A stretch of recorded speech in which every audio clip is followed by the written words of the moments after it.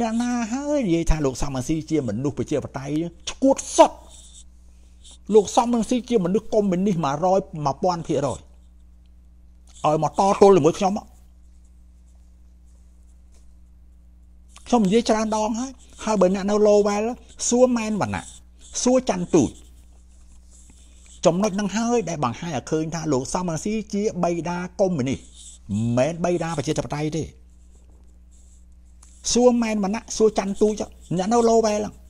ប្រជាពលរដ្ឋខ្មែរនៅ Lowell ទាំងឡាយយកករណីហ្នឹងមកយកមកនិយាយដឹងថាលោកសំរងស៊ីជានរណាហើយឃើញទេមែនវណ្ណៈហ្នឹងគ្នាខូចចិត្តរហូតបាត់ឈ្មោះបោះសម្លេងរហូតសពថ្ងៃដោយសារជាប់ឆ្នោតហើយសមសិទ្ធដកអំណាចគ្នាដែលជាប់ឆ្នោតពីប្រជាពលរដ្ឋឲ្យទៅច័ន្ទទូចច័ន្ទទូចនៅកាន់កាប់រត់ថ្ងៃមិញខ្ញុំនិយាយរឿងអស់ហ្នឹងមកពី អង្គរិទ្ធីនេះចូលរួមណា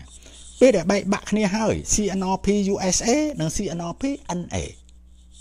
បើមាន34សាខា18គេបំបែកខ្លួនមក USA CNRP USA នៅសល់16 34នៅ NA អដែលហឹមពាក្យមួយម៉ាត់របស់លោកសំរងស៊ីប្រជុំគ្នាតាំងពីសុកបារាំងតាំងពីអូស្ត្រាលីតាំងពីកាណាដាអាមេរិកហៅលោកសំរងស៊ីមកសួរ តាមរយៈ phone conference ហើយខ្ញុំខ្ញុំចាំឈ្មោះអ្នកសួរទៀតតែគាត់មិននិយាយណាឯអាដាមគិតមិនដែរ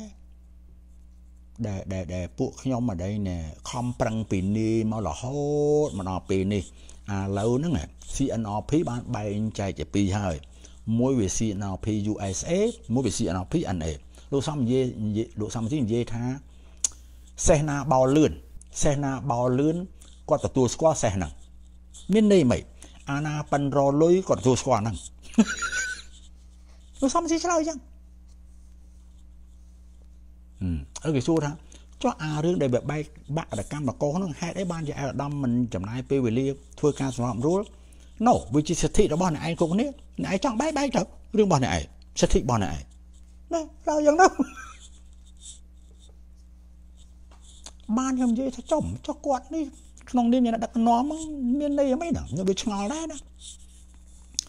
យូរយូរខ្ញុំតាមដានមើលមនុស្សនេះគឺថាដូចក្មេងទំនឹងវាចង់ធ្វើអីវាធ្វើហ្នឹងហើយបើចង់ធ្វើអីធ្វើហ្នឹងគ្មានស្ដាប់អាណា